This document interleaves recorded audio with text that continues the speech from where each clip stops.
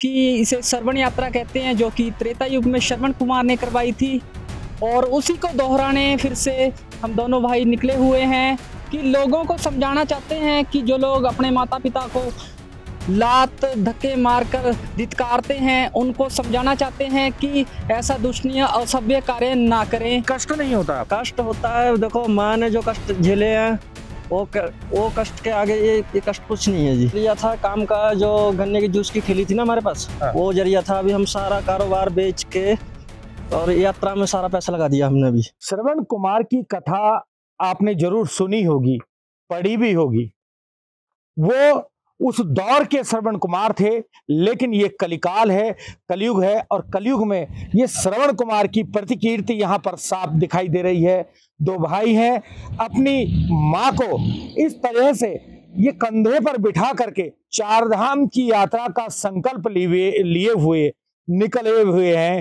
हालाँकि कपाट खुलने में, यानी कि चारधाम यात्रा शुरू होने में अभी समय शेष है लेकिन संकल्प जैसा कि इन्होंने बताया, वो सिर्फ़ ये है कि माँ गंगा यमुना बद्री केदार की ये अपनी मम्मी को, मैया माता को दर्शन करा सके। इन्हीं से सुनेंगे, इन्हीं की जबानी क्या नाम है आपका?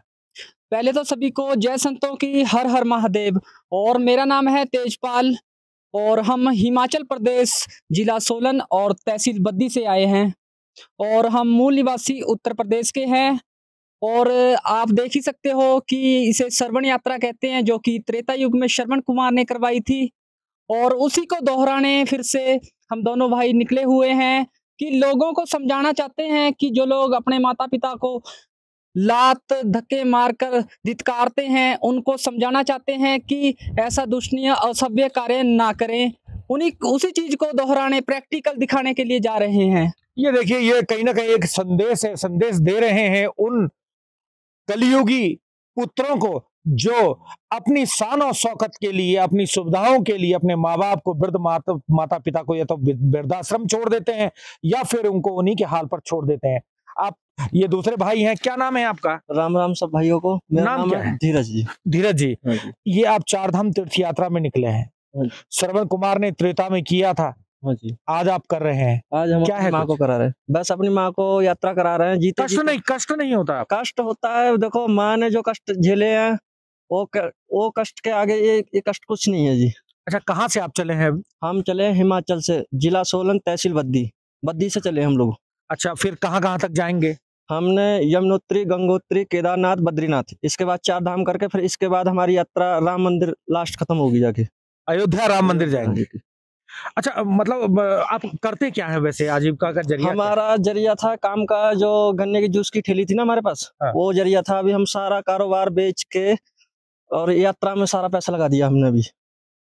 तो ऐसे में कहीं ये नहीं लगता आपको कि यात्रा आप कर रहे हैं? आप अब विवाहित हैं आप? नहीं नहीं विवाहित नहीं है। विवाहित नहीं है। बिल्कुल तो विवाह बंधन में नहीं बंधना नहीं। चाहोगे?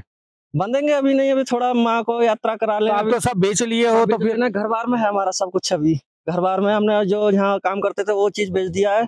बाकी कुछ नहीं बेचा अपना घर बार में सब कुछ है जी। अच्छा बरसात है कई चीज़ है तो इससे कष्ट नहीं हो रहा है? नहीं नहीं कोई कष्ट नहीं हो रहा है अपने साधन है सब कुछ जहाँ बारिश होती है वहाँ त्रिपाल डाल के बैठ जाते हैं थोड़ी देर को जब बारिश हट जाती है फिर चल देते हैं। ऐसी श्रद्धा को बार बार नमन है।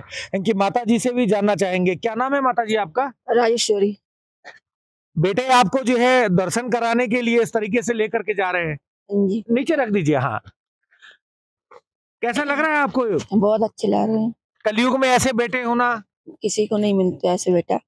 ये सौभाग्यशाली लोगों को मिलता है। हाँ भाग्यशाली को ही मिलती है। अच्छा चा अभी आप एकदम जो है पैदल ही लगे हैं और ये पैदल ही आप चार धाम करेंगे? हाँ जी पैदल ही। बहुत बढ़िया बहुत बढ़िया।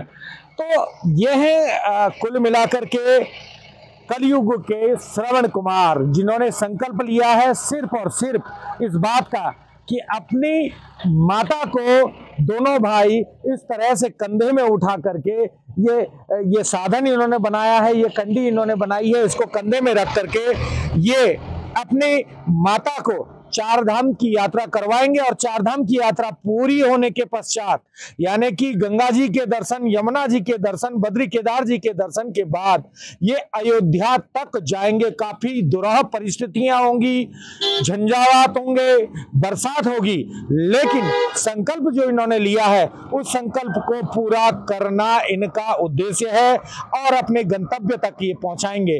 तो ऐसे चमत्कारी और श्रद्धावान बालकों को उत्तराखंड तक भी सलाम करता है। ओंकार बहुगुना उत्तरकाशी उत्तराखंड तक।